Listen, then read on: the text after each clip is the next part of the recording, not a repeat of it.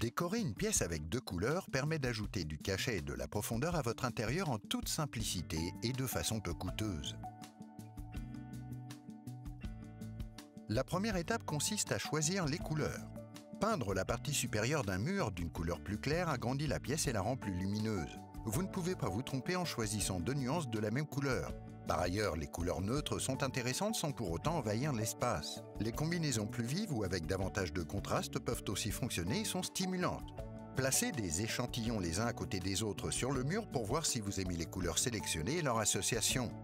Mesurez la hauteur et la largeur de votre mur, puis multipliez ces valeurs pour connaître la superficie en mètres carrés. Pour les couleurs claires, vous devrez peut-être appliquer jusqu'à deux couches, et pour les couleurs plus sombres, jusqu'à quatre couches. Vérifiez les indications du fabricant pour connaître le rendement de la peinture que vous avez choisie afin de déterminer le nombre de pots dont vous aurez besoin. Mettez du ruban de masquage sur tout ce que vous ne voulez pas peindre, comme les plaintes, les fenêtres, les encadrements de porte et le pourtour du plafond. Vous devez retirer et réappliquer le ruban de masquage entre les couches pour éviter que le ruban n'adhère à la peinture et n'écaille celle-ci lors du retrait. Posez des bâches de protection au sol pour protéger la pièce des éclaboussures de peinture. Vous pouvez maintenant passer à la peinture. Les murs doivent être propres, secs et sans défaut avant de commencer à peindre. Si vous devez préparer votre surface, jetez un œil à notre tutoriel dédié. Appliquez d'abord la couleur claire sur l'ensemble de la zone. Mélangez soigneusement le contenu de chaque pot à l'aide d'un mélangeur à peinture avant application. Commencez par dégager les angles à l'aide d'un pinceau. Vous pouvez ensuite peindre le mur. Appliquez la peinture à l'aide d'un rouleau grâce à un mouvement en forme de M ou de W. Passez immédiatement le rouleau sur les gouttes de peinture pour garantir une belle finition. Une fois la première couche terminée, laissez la peinture sécher complètement.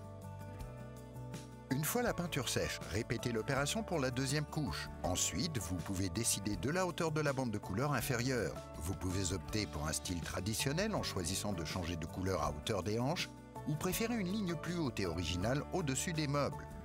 Lorsque vous avez choisi, repérez la hauteur au crayon. Prolongez ce repère le long des murs tout autour de la pièce à l'aide du niveau à bulles. Appliquez du ruban de masquage spécial peinture au-dessus de votre ligne. Lissez soigneusement le ruban avec le doigt pour vous assurer qu'il adhère bien. Cela évitera que vos couleurs ne se mélangent. Avant de commencer l'application de la deuxième couleur, assurez-vous de bien nettoyer votre matériel de peinture pour enlever toute trace de la première couleur. Commencez de la même façon par dégager les angles au pinceau. Peignez le long de la ligne en recouvrant légèrement le ruban de masquage spécial peinture. Utilisez un rouleau pour les zones plus grandes.